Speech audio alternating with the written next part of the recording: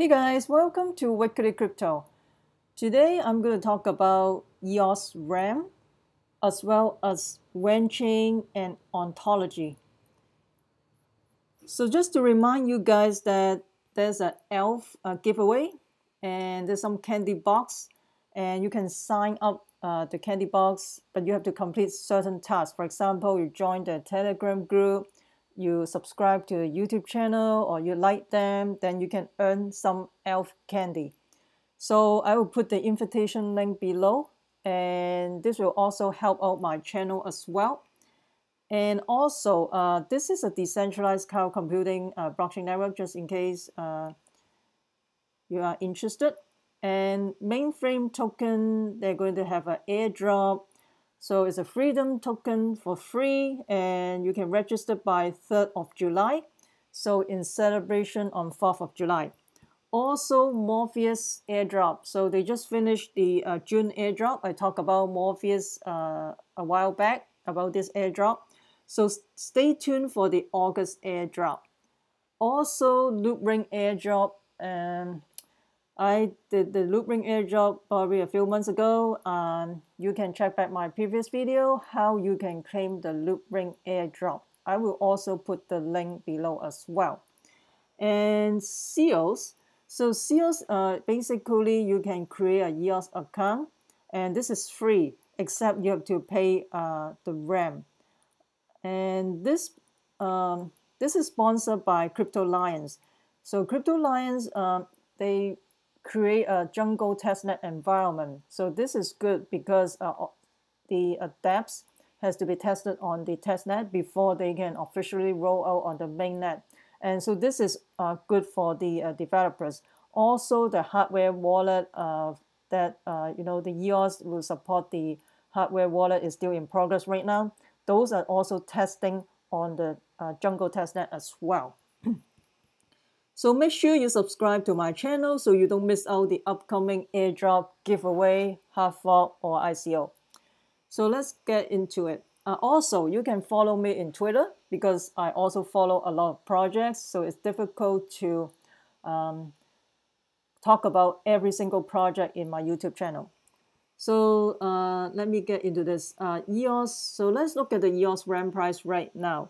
So yesterday it was 50 some cents, I think 50 cents. It go all the way up to 90, 91 cents, I believe. It's insane. 92 cents and it go all the way down to 58 cents. It go all the way back up again to 77 cents. And then it go all the way down again in 53 cents. And we talk about create an account for the wallet, right? So used to be just one year you can create an account. Currently, you have to pay probably five, four or five years just to create an account because of the RAM price. The RAM price going uh, so much, you know. So I don't think it's a good idea uh, because it will um, because people who bought uh, EOS recently, may, maybe they need to create an account. I mean, to them, it already cost them five years just to create an account. I mean, this is a little bit crazy and um, used to be the RAM is like 0.03 or 0.0 something, 0.02. And um, I mentioned in my previous video, I know that I can uh, buy some RAM, RAM and make some money, but I don't think it's a good good to the community. So I decide not to do that, and I decide not to buy it, and I don't talk about it in the YouTube channel because I don't want a whole bunch of speculation.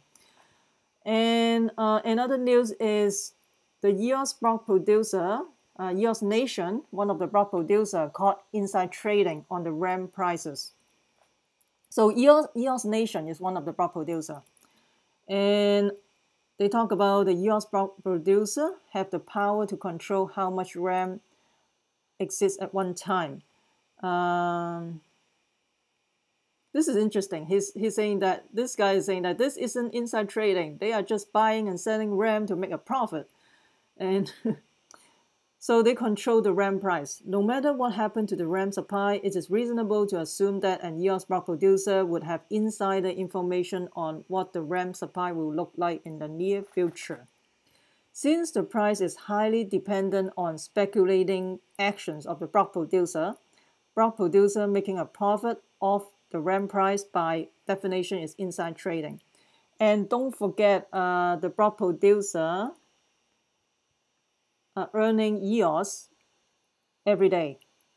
The top uh, the top two block producer uh, earning over a thousand EOS and and the other two is 900 uh, 900 and the rest is like 800 800 every day. And some of the block producer using this uh, block reward to buy RAM and speculating the uh, specul speculating the price uh, on RAM. And it jack up all the price I mean I would rather they in, invest in the infrastructure rather than putting the um, uh, the blockchain on the uh, cloud services, Amazon Web Services, or Google Cloud. I mean, they should use the money to invest in their own server, their own infrastructure, right? But anyway, let me know what you think. Put a comment below. Um, and people are talking about all this drama every day. Uh, every every day we have new drama coming in, and this is like uh, collusion and cartel block producer and all that thing and and also at the end i think one of the uh, person comment about so my basic understanding is that uh, he uh, this this user doesn't uh, did not hold EOS. It's the RAM is the resources. In some way, it's similar to computer RAM but on a network level.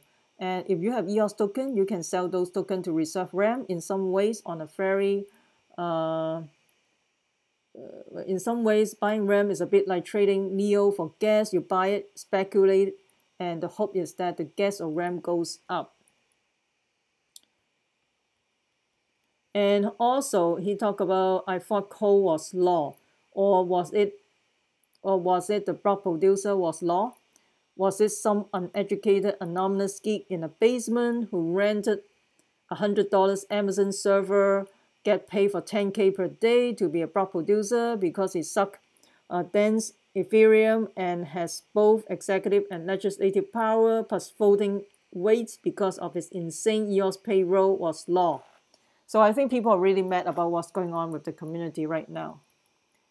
And also, so EOS block producer inside trading RAM, and he is talking about to prevent direct attempts at insider trading and to curb the inherent profit incentive and temptation to the block producer.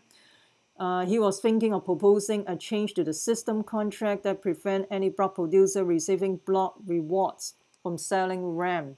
The only way they can sell RAM is when they are no longer receiving block rewards because of getting voted out of the top position. And here they talk about uh, so they can buy RAM in another account, not related account, and they be they will be able to buy and sell anytime. I realize that it's a uh, it's a public uh, blockchain, so any average blockchain can expose the information and let the voters decide the fate of the uh, block producer.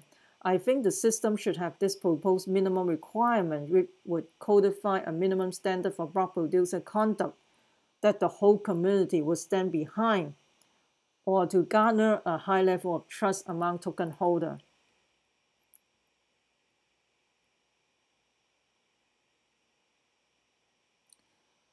So also, um, also, this is even is even more interesting. I may be missing something, but I think it's important uh, block producer are able to scale RAM whenever they want and however however much they want. You can buy a kilobyte of RAM at Best Buy for something like 0.001, and on EOS it's selling for one bucks.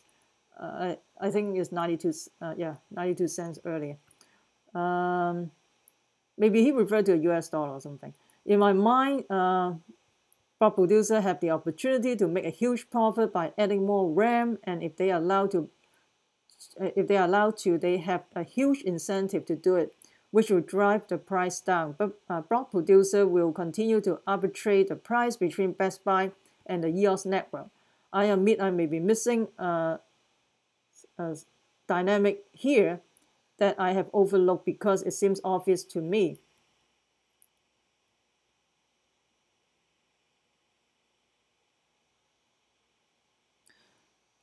So this is um, this is pretty interesting. So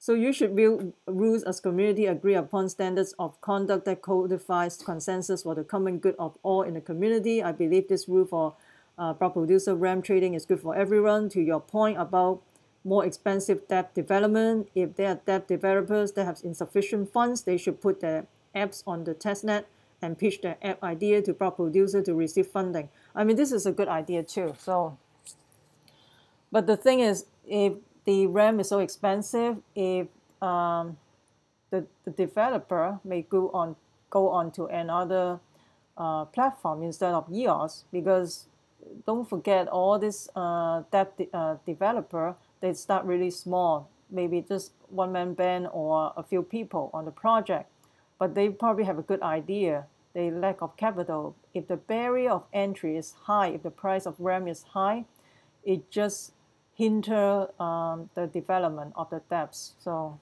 and also it uh, hinder the creativity on the platform as well. So um, EOS, uh, let's see. So Whale Watch by Blocksmith. EOS Blocksmith, uh, they have a Whale Watch. Say who own most of the RAM. So this is pretty cool. So this wallet has 15.3% of the RAM and this wallet is 14.7% and this wallet has 7.1%. Just these two wallet own almost like 20, 29% of the RAM, almost 30%. So you can see this wallet like over 1 billion uh, RAM and also this guy as well. And also you can see this wallet have uh, 870 uh, million RAM and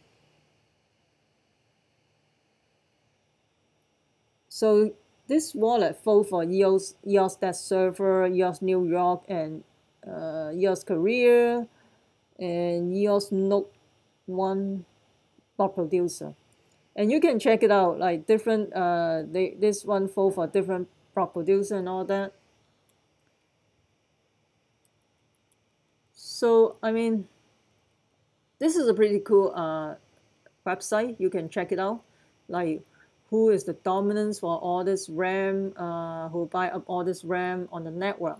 I mean, don't forget we want uh, the more depth on the platform, and this will increase the network effect, and eventually uh, will increase the value of the EOS blockchain. So this is the, the goal, but for whatever reason right now, people are just speculating on the RAM, and they don't care about the uh, depths on the blockchain. And here you can see uh, the voting once again, uh, Bitfinance EOS. Uh, this just one wallet, 1.6% of the votes uh, contribute to this uh, block producer. And then EOS New York, uh, by the way, EOS New York did make an announcement that if they decide to purchase RAM, they will make an an announcement seven days ahead of time for the purchase of RAM. And your store best, see this is a big wallet too, 1.6% of just one wallet voting for this block producer.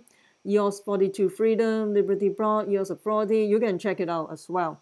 And on this side, the smaller the smaller folder didn't fold. Um, there's only 0.29% uh, voting for the uh, Bitfinance uh, EOS. And EOS New York, they have more, more smaller folder. EOS Canada, they have a big chunk of smaller folder. And down here, EOS, uh, see, EOS Cafe, they have more uh, smaller folder. So you want this side to be bigger, smaller folder, right? And EOS Rio Brazil, they uh, they did the Symbios uh, uh, wallet. And so you can see, oh, this is, has a big one. EOS Authority, they have a 0.7% of the smaller folder. So you can check it out. So uh, let's talk about Wanchain. So Wanchain just have a, a hackathon in California, and the nine-year-old is pitching to the uh, to the Wanchain about uh, decentralized application about the uh, gun violence, and this project, uh, this dApps uh, won the second place.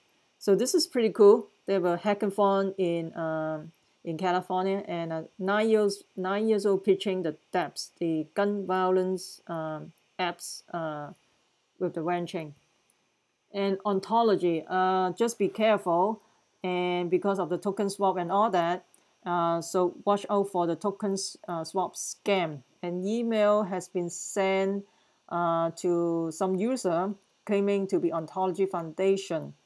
So Ontology uh, uh, make an announcement. They never contact user from an official channel. Just be very careful with the scam.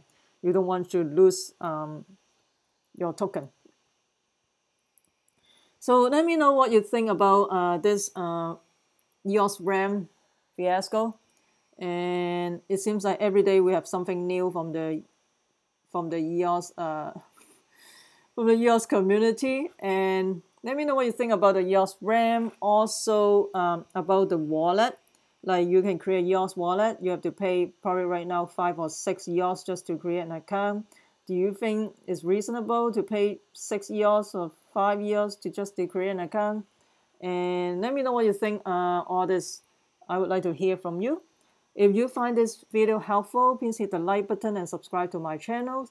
Also, um, please share with your friends. So, and you can also follow me in Twitter as well. And make sure you subscribe so you don't want to miss out the upcoming airdrop giveaway, fork or ICO. Remember, we the people take control of our money. Stay wise, stay safe, peace. I'm not a financial advisor. Investing in ICO has inherent risks. Please use your due diligence.